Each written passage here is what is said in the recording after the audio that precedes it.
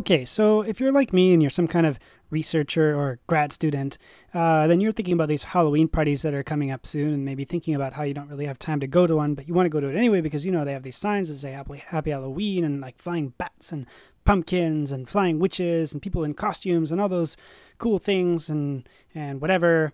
Uh, but of course, you know, you really like your work and you're thinking, yeah, that'd be cool if I could dress up as my work. I could, I'd, I could like, you know, go to the party and it'd be awesome and whatever, but uh, you're not really sure how to do that because your thesis is complicated. And you think about these other researchers, you know, like zoologists, and uh, and you know they're really lucky because they can wear these this ears and a tail, and and there they have a Halloween costume. Or you know, if you're a historian, you can just put a broom on your head and you can be a centurion, which is pretty awesome. You know, even if you're a physicist, like if you're a physicist, you can just you know dress up as some sort of rocket ship or something. And you know there's your halloween costume everybody loves it. But you know if you're me then you're somewhere between computer scientist and mathematician and you don't really know what to do. Like you know do you dress up as a chalkboard or something? You know people will laugh at you and it won't be just that much fun okay so you're sitting there in front of your chalkboard and you're thinking about this and um, all of a sudden you get a great idea you could dress up as zeros and ones okay well not exactly just plain zeros and ones but you know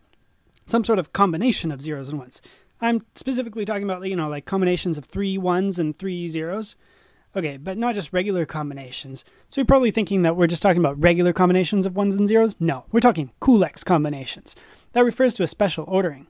Basically, we take the these occurrences of 011 or 010 in the string and take everything to the left of that and shift it one to the right. And then take that one that last one or 0 and put it to the left. So here's 111000, and there isn't one of those. So we're going to take that last zero and put it all the way to the left, and we're to take everything else shifted to the right. Now we find that 011, and we're going to take that last one and shift that to the left, and then put the 0, 01 to the right. And then we're going to look for that again. So we find a 011, and the next one we find a 010, and then the next one we're going to find a 011, and so on. And each time I'm going to take the last one or the last zero in that box and put it all the way over to the left and put everything that was to the left of it, shift that one to the right. So this is like you know cutting edge re- edge research that was done by uh, this guy that I know, Aaron Williams, and his PhD advisor, who's also my PhD advisor, Frank Ruskey. But by this time, you're probably thinking, how are you going to make a costume out of that? Are you going to like you know wear it or something, write them all over yourself, cover yourself in ones and zeros? No, not exactly. Basically, if you know anything about these ones and zeros, then you probably know this guy, Dennis Ritchie, who died this year. He's like this really important computer scientist who invented the C programming language. I hope he forgives me for misspelling his name. You also probably also know about Arduino. It's this microcontroller, mini little tiny computer. And so let's just take a string of LEDs. These are little lights, and let's say that bright lights are ones, and the, you know darkened lights are zeros. And then we can we can apply a musical note to each one of those.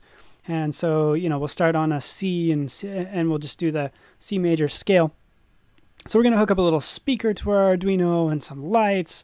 And uh, basically we end up with this.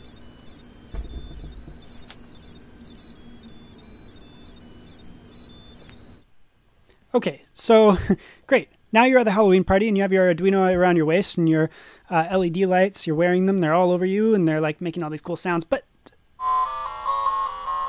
um, someone might point out, however, that you look and sound like a singing Christmas tree, but you know, everybody loves those too, right? Right?